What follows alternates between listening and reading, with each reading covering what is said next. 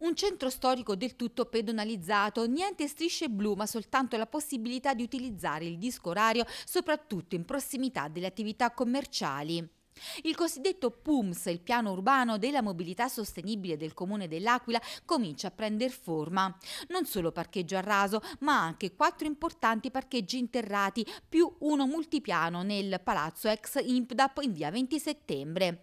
Un piano di mobilità che cambierà completamente il volto del centro storico, anche se per la delicatezza delle aree scelte per i parcheggi interrati, tutto il progetto dovrà essere sottoposto non soltanto al vaglio del Consiglio Comunale, ma anche condiviso con i cittadini e le associazioni di categoria. L'assessora alla mobilità Carla Mannetti afferma su un punto il parcheggio interrato da 200 posti a San Bernardino dovrà partire entro l'anno. Intanto sosta vietata a Via Verdi.